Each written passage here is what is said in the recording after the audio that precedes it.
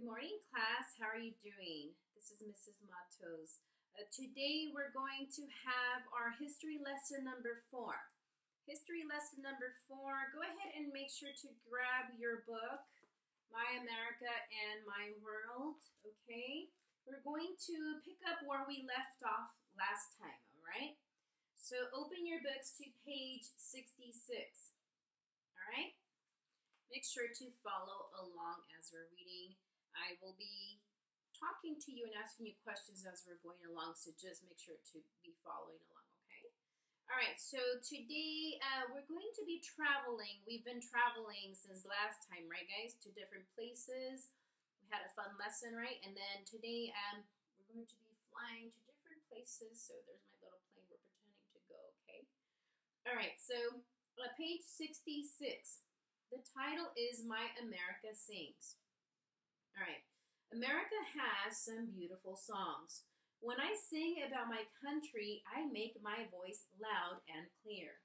That way, other people will know how happy I am to be an American. Raise your hand if you're happy to be an American. Okay, it is a blessing to be able to be part of this amazing country. You should be happy that you're here. Some people from other countries wish they could have a chance to live here, but you are so blessed to call the United States of America. I drew a little picture of your house. Uh, we live in the United States of America, and this is where your home is, right? So you should be happy to be part of this amazing country, like I, like I said. So let's sing about our great land as we start our trip around the world. Okay, we have a song here. These are some beautiful songs. Um, let's go ahead and skip over the first song. Let's go to America the Beautiful. So I'm going to sing, so please don't laugh at me. Oh, beautiful for spacious skies, for amber ways of grain, for purple mountain majesty above the fruited plain.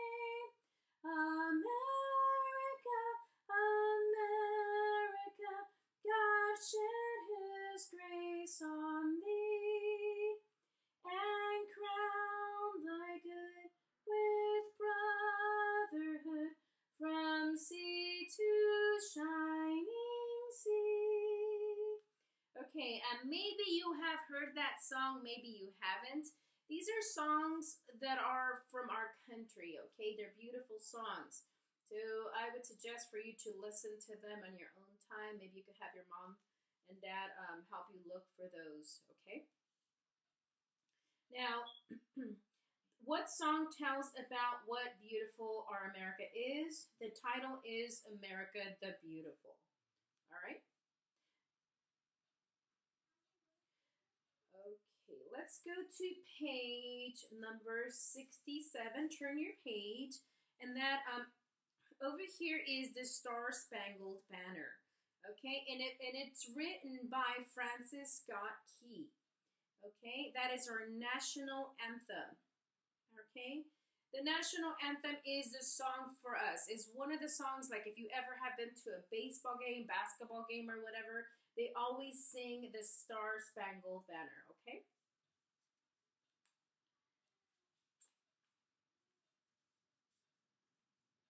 So I will let you guys listen to that song on your own on your own time. Maybe you can look it up. All right. Turn over your book to your turn your page to to your book to page 68. Okay, here we have some maps, okay? So we have some this is a map.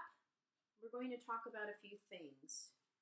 This is a map of our world will visit countries all over the world. Each country we will visit is in red. One of the countries in red is the United States of America. Right now, I want you to look at your own book and look for all of the red that you see. Okay, there's a lot of red. We're going to talk about these places. I want you to point to the United States of America. Okay, the United States of America, just so you know, that is the it's called North America. So it's the northern region of um, of the map. If you look, so let me point at it. I'm sure you guys found it before I did. It's right here. Okay. You guys need to know the country that you live in. That's the United States of America. We live in the state of California. Repeat after me California, right? And then even after that, there's different cities, small towns where you and I live, okay? Some of you guys live in Redlands, others live in Riverside, San Bernardino, Colton, Rialto. So there's a lot of different cities aside from the states that we live in where you guys, you and I live. Okay, and we live in North America. Can you guys repeat that? Okay, North America. Turn your books over to page 70. We're going to start with Canada. Okay? Okay. Vocabulary. You guys are my echoes. Neighbor. And Toronto. Good. Our first stop is in Canada. Our neighbor to the north. Okay? We can drive to Canada there is a very special place that is shared by Canada and the United States. It is Niagara Falls. Niagara Falls is partly in the United States and partly in Canada. Toronto is the largest city in Canada. Canadian cities look very much like cities in the United States with tall buildings and busy streets. Okay? Let me show you a picture for those of you who don't have your book? Looks really nice, right? So, what is the name of our neighboring city, of our name, neighboring uh, country, sorry? Is Canada. What is the name of the waterfall that is between Canada and the United States is Niagara Falls. Okay, what city in Canada has the CN Tower, one of the tallest buildings in the world? That is Toronto. Turn your books over to page 71. The flag of Canada is easy to recognize because of the bright red maple leaf in the middle. Some police officers in Canada are called Mounties. Can you guys repeat after me? Mounties. Good job. Many years ago, these police officers wore hats and bright jackets. The job of the Mounties is to protect and help the people the people same way police officers do in the United States. Okay? Okay, so go back one page and you'll see the flag of the Canadian flag. Let's go over to page 72. Now we're going to travel along, so we're going in our plane again. We're going to Mexico, okay? Maybe some of you guys have been there and maybe you haven't, okay? Mexico is closer to us. It is our neighbor to the south, okay? We could drive to Mexico, but it is faster if you drive, if you fly, I'm sorry. Christopher Columbus discovered Mexico in the New World. People from Spain settled there. That's why the Mexican people speak Spanish. Okay, maybe some of you guys speak Spanish, okay, or a little bit, right? Our plane will land in the capital, which is Mexico City. Can you guys repeat after me? Mexico City. Good. Mexico City is the largest city in Mexico. It is also the largest city in North America. Okay, here's the picture. Okay, what country is our neighbor to the south? Okay, the answer is Mexico. What is the name of the largest city in Mexico? That is Mexico City. Okay, turn your books over to page 73. In Mexico, the afternoon is the hottest part of the day. You may see people in the villages wearing sombreros to protect themselves from the hot sun. Afternoon time is siesta or nap time. Many Mexicans close their shops in the afternoon so they can eat lunch which is the biggest meal of the day, and rest. Okay, so here's a picture to look at. I have some more information for you, so listening ears. Okay. Many Mexicans live in small villages. Many houses are small and have dirt floors. Some do not have any windows, so people leave their door, doors open during the day. A sombrero is a large hat that gives protection from the hot sun. Serapes hand woven blankets carried over one shoulder. Okay? A poncho is a small blanket with slick cut forehead for the head. Mexicans use corn in many things they cook. Tortillas, which are thin corn pancakes, right? Some of you guys have tried tortillas, maybe you haven't. Uh, but they look like a pancake. They're round, right, and thin and made out of corn. And there's also some tortillas made out of flour, okay? Some foods that Americans eat and enjoy were first discovered in Mexico, such as, listening ears, guys, tomatoes. You can echo me, tomatoes. All right, avocados and chocolate. Raise your hand if you like chocolate. Raise your hand if you like tomatoes and avocados. Not just the sweet, right, guys? We have to like our vegetables as, as well, or healthy foods. okay, Mexican children like to play with cats and dogs. They also like to catch iguanas. Okay, pinatas are filled with candy and toys. Children are blindfolded and try to break them open with a stick. Pinatas are a part of birthday fiestas or parties and Christmas festivities in Mexico. Okay, let's turn over to page 74. Now we're going to travel again in our little plane. Okay, we're going to another portion of our country. Let's see where we're going. We're going to Peru. All right, Peru. All right. The first word in our in our vocabulary is llamas. Llamas and sorry, llamas, llamas and wool, okay?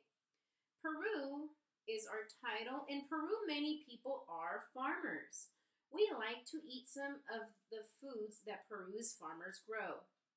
Farmers in Peru also grow coffee beans and cotton. I will let my parents have the coffee. Raise your hand if you like coffee. You shouldn't raise your hand. You shouldn't be drinking coffee. But Mrs. Matos loves coffee, right? You guys know that, right? Uh, llamas sorry, llamas are very common in Peru. They carry goods to market for, pe- for the people. Many women in the villages of Peru make beautifully covered cl- colored clothes. The wool that they use is from the llamas. I'm going to show you a really cool picture. Okay. Very neat, right, guys?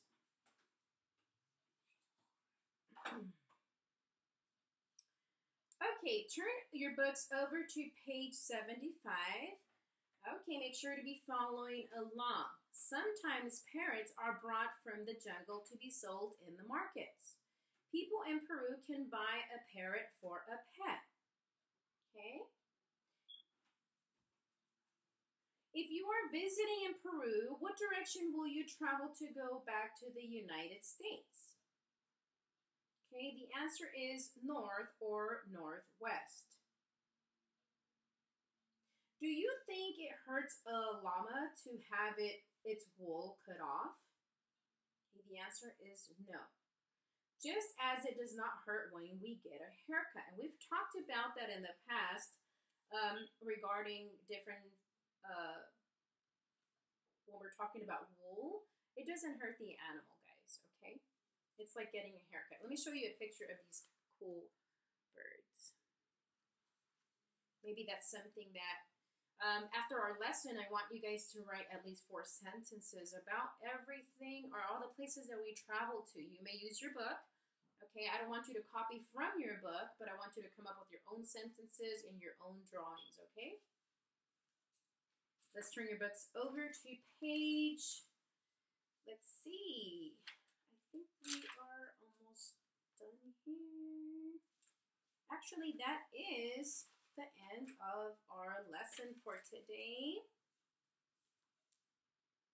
I have one question for you, class. Okay? And the question is Do you think, I'm sorry, what interesting animal might you buy for a pet in Peru? Okay, the answer is a parrot. All right. Okay, awesome job. Raise your hand if you enjoyed traveling today, right? That was pretty neat. So we learned about different countries.